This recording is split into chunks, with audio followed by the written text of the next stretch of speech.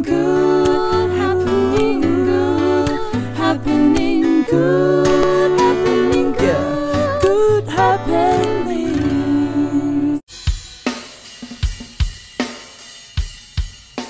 ต้อนรับคุณผู้ชมคุณผู้ฟังยามเช้าแบบนี้นะครัคะ บ อยู่กับพวกเราทั้ง 3 คนค่ะ เอมโอปอลและก็นันวันนี้ค่ะ ดูแลคุณผู้ฟังตั้งแต่ 8 โมงถึง 10 โมงเช้าค่ะ กับผมปลายปีแบบนี้นะครับคึกคักกันหน่อยดีกว่านะฮะก็ยังไง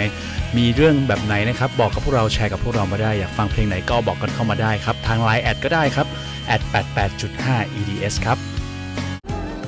ฟังเพลงนี้ที่ไรนะคะก็จะมี 2 บุคคลที่เรานึกถึงเสมอเลยค่ะสำหรับลมหายใจจากบอยโกศิยพงศ์นะคะ ก็ไม่รู้ว่าคุณผู้ฟังหรือว่านันพี่โอปอเป็นไหมฟังแล้ว นึกถึงคุณพ่อคุณแม่เออเป็นเหมือนกันนะ บางทีเวลาที่จะพูดถึงว่าใครสักคนเป็นเหมือนลมหายใจของค่ะเราคุณผู้ฟังครับพูดไปก็เขินแต่ทุกครั้งก็จะนึกถึงคุณพ่อแล้วก็คุณแม่อย่างที่น้องเอบอกจริงถูกๆต้องค่ะผมว่ามีจริง ๆ แล้วไม่กี่คนนะฮะแล้วเชื่อว่าเราก็คือลมหายใจของคุณพ่อคุณแม่เช่นกันนะ เพราะฉะนั้นเนี่ยความผูกพันสายใยขนาดนี้นะฮะต้องมีอะไรพิเศษแน่นอนนะครับ เรามีแผนประกันมรดกเพิ่มพูนสำหรับผู้สูงอายุนะครับมาบอกคุณผู้ฟังนะครับเผื่อจะสนใจนะครับเพราะว่าเบี้ยประกันเนี่ยถูกมากๆ แล้วก็คุ้มค่ามากๆเลยนะครับตอโอ้นโห เบี้ยแค่วันละ 8 บาทเท่าถูนั้กนต้องน้องฟังค่ะ8บาทในชีวิตจริงทุกวันนี้ถ้าหารกันเนี่ยไม่รู้จะเอามาซื้ออะไรเลย เพราะไม่พอจริง ๆนะคะ แต่ว่าพอสำหรับการทำประกันหนึ่งก้อนที่เรียกได้ว่าผลประโยชน์เขาเนี่ยเยอะมากแต่ไปหมดครับถ้าสมมติอยู่ครบสัญญาก็จะรับเงินก้อนทันทีไปเลย 4 5 0 0 0 0 บาทค่ะยังไงคุณผู้ฟังคนไหนนะคะถ้าสนใจโทรสอบถามได้เลยค่ะที่ 02 203 5564 ไทยประกันชีวิตคิดเคียงข้างทุกชีวิตค่ะ นอกจากการอยากคุยด้วยสมัยก่อนที่แบบว่า ต้องเป็นการเจอหน้ากันคุยโทรศัพท์บ้านกันครับยุคนี้นะคะ เราก็มี Line มี Messenger ถูแต่กอีต้กองหนึ่งแอปที่อยากจะมาแนะนำเลยน้องเอ็มพี่ว่าปอแล้วคุณผู้ฟังด้วยนั่นก็คือแอป Tinder นั่นเองค่ะ นันใช้บ่อยเหรอคะ Tinder เนี่ย Tinder ไม่ไม่เหรอรู้ครับจักเลย Tinder คุณรู้จักเหรอคะ Tinder ทินเนอค่ะร์เขาคุณไว้ผู้ฟังทาโอ้เคลือบไม้เคลือบอะไรอ่างานจะบอกว่าโแอป Tinder เนี่ยเขามีเขาเรียกว่าไฮไลท์ของเขาคือ swipe ถ้าเราไม่ถูกใจปุ๊บเลื่อนเลยคุณผู้ฟัง เลื่อนเลื่อนครับเจอ match ปุ๊บกดคลิกและแชทได้ทันที มันคือการลองคุยหรือการหาเพื่อนใหม่ๆเราอย่าไปคิดในเชิงชู้สาวอย่างเดียวคุณผู้ฟังมันคือการได้เพื่อนใหม่ที่เราอาจจะไม่เจอได้ในชีวิตประจำวันก็ได้โอ้โหอย่างนี้พี่ว่าปอใช้บ่อยแน่เลยค่ะเพราะครับว่าต้องเจอหลายโอ้โหๆคนมันง่ายอะอะไรก็ง่ายไปหมดเดี๋ยวนี้ slide slide slide นะฮะแค่ปลายนิ้วนะครับเช่นเดียวกันนะครับกับกรุงศรีพร้อมเพลย์นะครับถ้าคุณผูกแล้วก็โหลดแอปพลิเคชันนี้ครับ KMA กรุงศรี mobile app นะครับรับรองว่าง่ายเช่นเดียวกันนะฮะง่ายมากๆนะครับถ้าเกิดว่าไม่เชื่อเนี่ยต้องลองไปโหลดดูครับคุณผู้ฟัง หนึ่งเพลงนี้จากสรัญญานะครับน่ารักจริงๆนะฮะสองเวลานะครับผมแน่นอนว่านะฮะเวลาไหนก็ไม่สำคัญเท่ากับเวลาที่เราได้อยู่ด้วยกันแบบนี้นะครับคุณผู้ฟังแล้วก็มีเวลาที่เราจะออกไปเจอคุณผู้ฟังด้วยนะครับในทุกๆเดือนนะฮะเดือนละหนึ่งครั้งที่จะเป็นวันพิเศษจริงๆนะครับกับกิจกรรม EDS Good Delivery นะฮะนั่นเองอย่างที่บอกว่าธันวาคมแล้วรู้สึกว่าเป็น เดือนสุดท้ายของปีแล้วคุณผู้ฟังอยากจะให้มาร่วมสนุกกันเยอะๆนะคะ บอกครับเราหน่อยว่ามื้อเที่ยงของคุณเนี่ยทานอะไรเป็นประจำเลย แล้วก็ติดแฮชแท็กนะคะ FM 885 EDS แล้วก็แฮชแท็ก Good Delivery นะคะและพวกเราจะเอาอาหารอร่อยๆ แล้วก็เพลงเพราะๆไปเสิร์ฟถึงที่ออฟฟิศเลยค่ะ โอ้โห บางคนเห็นมีตอบมาว่าแบบว่าอาหารประจำที่ชอบกินนี่ก็คือ ข้าวกับน้ำปลานะคะ ไม่รู้แปลว่าอะไรเหมือนกันอาจจะเป็นเออรสนิยมของคนอย่างนันเองนะคะคุณผู้ฟังใครที่เป็นแฟนคลับนันบอกนิดนึงเขาชอบทานมะนาวมากค่ะชอบค่ะเป็นมะนาวชีวิตจิและตใจน้ำปลาใครที่อยากจะให้นันมีความสุขก็ส่งมาให้นันได้ที่เออ88.5 EDS นี่แหละบค่ะอกกันมาหน่อยนะเมนูประจำที่ชอบอย่างที่น้องเอมครัแล้วบก็พี่โอปอได้เกริ่นไปนะคะ แค่นี้ก็จะได้มีสิทธิ์มาเจอกับพวกเรา แล้วก็สิทธิพิเศษยังมีอีกเพียบเลย โดยเฉพาะใครที่เป็นสมาชิกของไทยประกันชีวิตนะคะ คุณมีบัตรไทยไลฟ์การ์ดอยู่แล้ว หรือว่าบางคนที่บริษัทเนี่ยจ่ายเงินเดือนผ่านธนาคารกรุงศรีอยุธยานะคะ อันนี้ก็อาจจะมารับของรางวัลพิเศษเพิ่มเติมในงานได้อีกด้วย เรียกได้ว่าโบนัสคูณกัน2-3เท่าเลยค่ะโอ้นันโหยิ่งกว่าถูกหวยยิ่งกว่าเล่นหุ้นอีกนะคะอันนี้ครับผมและแน่นอนนะฮะบอกกันไว้นะคุณผู้ฟังไปร่วมสนุกลงทะเบียนกันเยอะๆ ดูได้ที่ Facebook ของพวกเรานะครับผม และในชั่วโมงนี้นะครับ ขอบคุณด้วยนะครับกับ 75 ปีไทยประกันชีวิต คิดเคียงข้างทุกชีวิต กรุงศรีเพโลมากกว่าแค่บัญชีเงินเดือน Positive ผลิตภัณฑ์เสริมอาหารจากธรรมชาติ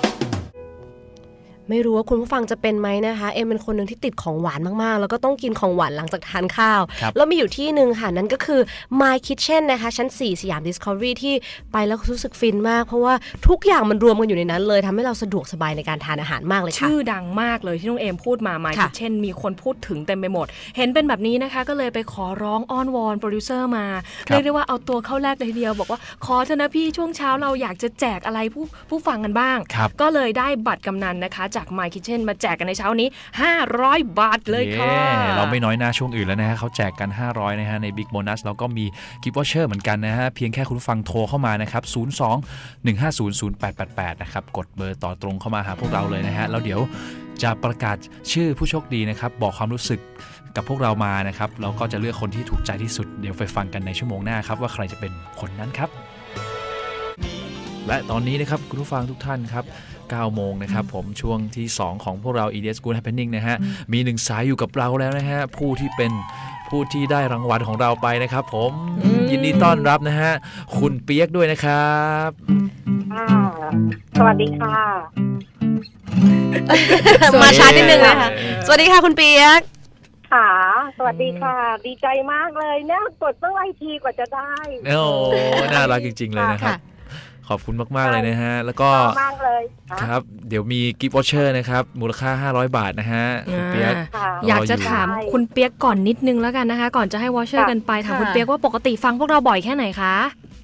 ฟังทุกเช้าอะค่ะ8โมงถึง9โมงนิดคๆรับอ๋อโอเคเยี่ยมมากเลยนะคะแต่ว่าแล้พวอดีต้องเข้างานชอบอะไรในช่วงชอบดีเจโทษนะคะ ชอบอะไรในช่วงดีแฮเจปทั้ปี้งสามคนนะคะอ๋อแล้วก็ชอบฟังไลฟ์สดชอบร้องเพลงสด แหเพลงร้มองเพลงพอกันทุกคนแล้วก็ชอบดีเจดีเจน่ารักอะค่ะ โอ้โหชื่นใจจริง ๆ นะครับ เดี๋ยวให้รางวัลเพิ่มเลยค่ะ หน้าตาพวกเราอาจจะขนาดนี้หน้าเนี่ยตาพวกเราอาจจะดีดีกว่าเออในในไลฟ์สดนิดนึงนะคะในไลฟ์สดมันจะง่วงๆนิดนึงนะคะคุณเปียกชอบมากเลยชอบตอนนั้นนะคะ โอเคครัค่ะบตอนนี้นะคะเรามีกิฟต์วอเชอร์นะคะ มูลค่า 500 บาทค่ะ จากทาง My ค่ะ Kitchen ชั้น 4 สยามขอบคุณ Discovery ค่ะนะคะ แล้วก็ค่ะพิเศษมากๆ รู้ไหมว่าตอนนี้คุณเปียกได้เข้ารอบโบนัสเขาเรียกว่าเหมือน fast track ไปเลยด้วยนะคะ ที่เราจะไปลุ้น BMW ด้วยนะครับ นอกจากได้ gift voucher แล้วนะครับ ก็เดี๋ยวไปเจอกันในช่วงของอ่า EDS Bonus Big Bonus Special นะครับ ลุ้น BMW ขอบคุณมากเลยค่ะ 118i ครับ แล้วอย่าก็ลืมนะคะ ถ้าเกิดได้ BMW อย่ามาลืมขับมารับพวกเราทั้ง 3 คนไปเที่ยวนะคะ ตั้งแต่500นี่แล้วค่ะ ชวนดีเจทั้งสามคนโอ้ยไปด้วยกันเลย ใจดีอะใจดีค่ะขอบคุณมากนะคะโอยังเคไงวันนี้ต้องยินดีด้วยค่ะ ขอให้เป็นวันพิเศษของคุณเปียกค่ะ ค่ะ ขอบคุณคุณขเปีอยบกคุณค่ะค่ะขอบสวัคุสณดีมากค่ะมากๆค่ะ สวัสดีคค่ะรับสวัสดีครับ น่ารักอะพูดแล้วเป็นกำลังใจที่ดีมากเลยบอกว่าฟังจริงๆพวกเราจนถึงช่วงเวลาที่แบบว่าร้องเพลงครับที่สำคัญชอบพวกเราตอนหน้าสดซะด้วยนะคะก็ไม่รู้สไตล์ไหนเหมือนกัจะนบอกว่าที่ครับนี่ที่เดียวนะคะ88.5 EDS จะได้เห็นพวกเราแบบหน้าสดแบบนี้ เพราะว่าไลฟ์ที่อื่นจะไม่ได้เห็นนะคะพิเศษที่นี่ที่เดียวค่ะหนึ่งงานจากวงพอสนะฮะ หลายคนคิดถึงกันเพลงนี้นะครับผม ใครที่แอบรักนะผมเชื่อว่าโดนใจแน่ ๆ กับเพลงนี้ครับ ความลับ good happening. Sing a song. Sing a song. Sing a song. Sing a song. Sing a song. Sing, sing, sing. ในช่วงของซิง a ซองนะคะในทุกๆวันพวกเราทั้ง 3 คนก็ต้องหยิบเพลงหาเพลงมาร้องให้กับคุณผู้ฟังค่ะ แต่รู้สึกว่าสิ้นปีแล้วเดือนธันวาคมมันเป็นฤดูของหน้าหนาว มันมาพร้อมความคิดถึง วันนี้นะคะนันก็เลยหยิบหนึ่งเพลงค่ะมาฝากคุณผู้ฟังกัน ยังไงใครที่ชอบหรืออยากฟังเพลงไหนในวันต่อไป คอมเมนต์ก็ได้เลยนะคะในไลฟ์ของ 88.5 EDS ค่ะ แอบบอกหน้าไม้นิดนึงนะคะว่าเวลาที่พวกเราเลือกกันเนี่ยบางที บอกแค่ชื่อเพลง เวลากลับไปแกะเองที่บ้านก็จะมีความที่เข้าใจผิดกันบ้างครับเช่นเดียวกับเพลงนี้นะคะ ชื่อเพลงว่าด้วยความคิดถึงนะคะ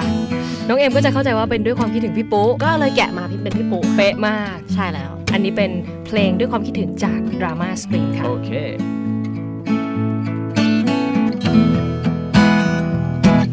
ด้วยความคิดถึง ถึงเธอที่จากลา จากไปไม่คืนย้อนมา แล้วฉันก็มีน้ำตา ด้วยความคิดถึง จึงอยากจะไปหาหน้า อยากให้เธอนั้นคืนมา รักกันเหมือนดังฉันเดิม ธอในวันนั้น มันไม่กลับมาทำให้ฉันเสียดายขึ้นทุกวัน ภาพระหว่างเราที่เคยมีกัน แต่ว่าฉันก็ทำให้สลายไป ภาพเธอบอกลา เดินมาบอกลา ที่ฉันคิดว่าเธอแค่น้อยใจ แล้วคนหนึ่งคนต้องมาใจหาย แต่จะทำยังไงคงไม่ได้เธอคือ ง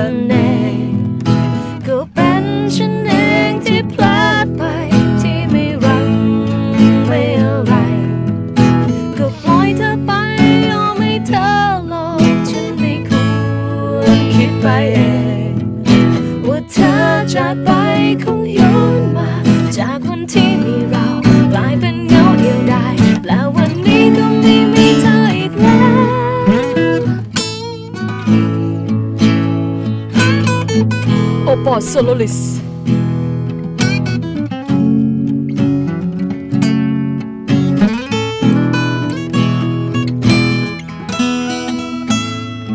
จากวันที่เธอได้เจอเขา ไอเราก็เหลือตัวคนเดียว มีแต่ความคิดถึง ที่ยังอยู่ที่เดิม อยู่ตรงนี้ เธอจะรู้สึกคิดถึงฉันบ้างไหมนะ ถึงเธอเสมอ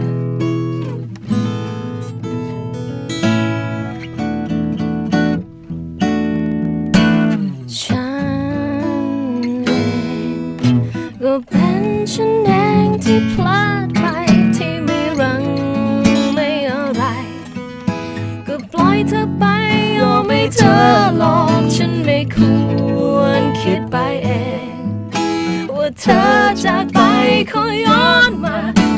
วันที่มีเรา กลายเป็นเงาเดียวดายแล้ววันนี้ก็ไม่มีเธออีกแล้วจากวันที่มีเรากลายเป็นเงาเดียวดายแล้ววันนี้ก็ไม่มีเธออีกแล้วขับฟรีซาวด์เช็คเนี่ยก็จะต้องไปกันทั้งทีม ครับไม่ว่าจะเป็นเขาเรียกว่าเป็นนักดนตรีนะคะพี่ๆในวงหรือแม้แต่คนที่ทำซาวด์เนี่ยโอ้โหแบบถ้านับแล้วก็น่าจะแบบ 20อะเยอะเยอะเราก็มเคยขึ้นคอนเสิร์ตโดยที่ไม่ซาวด์เช็คแล้วรู้สึกมันแบบไม่มั่นใจใด ๆ ทั้งสิ้นเลยนะคะก็เลยอยากจะบอกคุณผู้ฟังที่ฟังเราอยู่ว่านักร้องจริงๆกว่าจะร้องเพลงคอนเสิร์ตหนึ่งบางคนซาวเช็ค3-4 ชั่วโมงก็มีหลายคนสงสัยเราเลยมาถามกูรูโอปอดีกครัว่าบนะคะว่าจริง ๆ แล้วไหนๆนักร้องก็ต้องขึ้นไปร้องเพลงอยู่แล้วอะพี่โอปอทำไมถึงต้องมีการซาวเช็คด้วยคะเราอยากจะสงสัยแทนคุณผู้ฟังที่ยังไม่เคยแบบไปขึ้นเวทีร้องเพลงใช่ไหมครับแล้วก็ศิลปินกันเนี่ยเขามีขั้นตอนกันหลายอย่าง ก็คือเราอยากให้เสียงที่แบบออกมาตอนที่โชว์จริงเนี่ยมันดีที่สุด แล้วก็เป็นอย่างที่เราต้องการจะได้ยินนะเพราะเหมือนเหมือนตัวเราตัวเราเองก็เป็นสื่อกลางในการที่แบบโอเค เรามีฟีลลิ่งแบบนี้นะครับเราอยากจะถ่ายทอดออกไป โดยผ่านหูของเราที่แบบเราประมวลผลผ่านสมองปุ๊บแล้วก็เปล่งเสียงเปล่งอารมณ์ออกไปนะฮะมันก็เลยต้องมีการทำให้ทุกอย่างเนี่ยมันเสถียรเหมือนกับการได้ยินของเราเฮ้ยเฮ้ยหวานทู่หปวานระมาณทู่นั้นแบบนั้นแหละถูกๆอยู่ถูกๆ2ชั่วโมงบางทีหูครับเราจะไม่ไหวแล้ว แล้วยิ่งเสียงกลองนะคุณผู้ฟังตุบตุบตุบโอ้โหแบบบางที ปวดหัวกันไปใช่เลยครับก็มีคุณผู้ฟังถามเข้ามาเหมือนกันว่าเอ๊ะทำไมมีแบบมีการใส่หูฟังอะไรกันแบบว่าเดี๋ยวนี้ไม่ทุกคนเลยจะต้องแบบจับใส่หูฟัง in-ear ใส่ใช่ไหมอ่าอินเอียร์ค่ะเป็นยังไงอะไรอย่างเงี้ยนะฮะก็มีคนสงสัยก็มันก็คือหูฟังที่เรียกว่าหล่อเฉพาะคล้ายๆเหมือนกับว่าเราหล่อฟันปลอมหรืออะไรเงี้ยมียางมาหล่อแบบรูปหูของแต่ละคนอะไรเงี้ยเป็นเฉพาะตัวนะฮะก็มันมีทั้งแบบหล่อแล้วก็แบบที่ใส่ได้กันทั้งหมดอะไรเงี้ยก็เป็นเทคโนโลยียุคใหม่นะฮะที่ศิลปินเขามีกันในยุคนี้ แล้วแต่ความถนัดด้วยใช่บางคนเนี่ยถนัดใส่ in-ear อย่างที่คุณผู้ฟังเห็น แต่ครับว่าหลายคนก็จะถนัดฟังเหมือนกับว่าเอ่อลำโพง PA ด้านหน้าใช่ค่ะถ้าฟัค่ะก็เสียงมันมันง่ายแล้วแต่คนที่แบบว่าใช่อย่างถ้าสมมตินั้นเริ่มต้นมาว่าโอเค เราจะฟังจากข้างหน้าอย่างเดียวอืมเราก็อาจจะฟัง ambience เช่นเสียงคนฟังได้ยินชัดหน่อยครับแต่บางคนที่ถนัด in-ear เขาก็แบบว่าเฮ้ยเสียงเขากิ้งแน่นอนคือชัวร์อย่าง in-ear มันจะได้ยินทุกอย่างเคลียร์มาอยู่ในห้องอัดคล้ายๆอย่างนั้น แต่ใช่ว่ามันจะไม่ได้ยินบรรยากาศไม่ได้ยินเสียครังบคุณผู้ฟังนั่นเองบางที ก็เลยเห็นว่านักร้องบางคนทำไมต้องถอดหูฟังออกมาเวลาทักทายคนดูเพื่อนั่ที่นแหละได้ยินครับเสียง แล้วก็ atmosphere รอบข้างใช่แล้วค่ะนะฮะก็มีวิธีแตกต่างกันไปนะฮะคุณผู้ฟังก็มาเล่าให้กันฟังคร่าวๆประมาณนี้อ่านะเรื่องครารับวดีๆ แบบนี้นะคะ มาแชร์กันทุกวันที่นี่ 88.5 EDS ในช่วงเวลาของ EDS Good Happening นะคะ ขอบคุณด้วยกับ 75 ปีไทยประกันชีวิตคิดเคียงข้างทุกชีวิต กรุงศรีเพโลมากกว่าแค่บัญชีเงินเดือน Positive ผลิตภัณฑ์เสริมอาหารจากธรรมชาติ ไม่ได้ฟังนานมากเลยนะเพลงนี้นะครับมีเพลงน้อยเพลงนะมากนะฮะที่จะพูดถึงงูเห่านะฮะก็เป็นเลยการเปรียบเทียบเปรียบเปรยใช่ได้ดีนะน่ารักนะเป็เห็นนนิทาภานพเลยนิทานอีสปนะผมก็เลยค่ะพยายามนึกถึงเพลงที่แบบมีมีการพูดถึงเนี่ย นิทานหรือว่าอะไรที่เป็นเกี่ยวกับสัตว์หรืออะไรมีไหมน้องนันมีไหมเหรอมีมีนึกถึงเพลงหนึ่งค่ะ แต่แดดแดดแดดแดดแดดแดดแดดคืออะไรนะเออเพลงงูเพลงงูเพลโอ้งงูผมอ๋นึอกอ๋อไอเพลงที่มีคิดตั้งูนานออกมาใช่ไหมใช่ที่งูออกมาเออผมนึกออกแล้วมันมีเพลงหนึ่งที่เพลงฐานไฟฉายตากบครับ ยังไงคะขึ้นมาเลยค่ะตรกูลผมแต่บางบัน หลังยามสายันดวงตะวันเลียงหลบจะเดินทางยืงย่างไปไหนจำเป็นต้องใช้จุดตายจุดคบ ปัจจุบันเห็นจะไม่ดี ขึ้นจุดใต้สี ถ้ามีใครพบ ก็อาจต้องอายขายหน้าอาโค เขาต้องหาต้องโหว่าผมโง่บัดซบพิเศษมากๆนะคุณผู้ฟังวันนี้พี่โอปอจัดเพลง เรียกได้ว่าเป็นเพลงครับที่พี่โอปอไม่น่าจะเคยร้องที่ไหนมาก่อนเนี่ยให้เรากับอยากที่ 88.5เราอยากขงคอรัสแต่เราไม่รู้จักจริงใช่ไหมอยากจะประสานให้แต่ไม่ได้จริงๆนะคะโอ้โหนะฮะก็ต้องขอบคุณผู้ฟังนะครับที่ใช่ค่ะอยู่สนุกสนานร่าเริงกันในช่วงเช้าแบบนี้กับพวกเรา 3 คนนะฮะ ในช่วงของ EDS Good Happening วันนี้ขอบคุณสำหรับการติดตามรับฟังครับ ช่วงหน้าอยู่กับพี่อูหนึ่งวันนะคะ เอาเป็นว่าเพลงไหนที่ขอกันไว้ในไลน์แอดของเราฝากไปให้เหมือนเดิม เพราะแน่นอนที่นี่ 88.5 EDS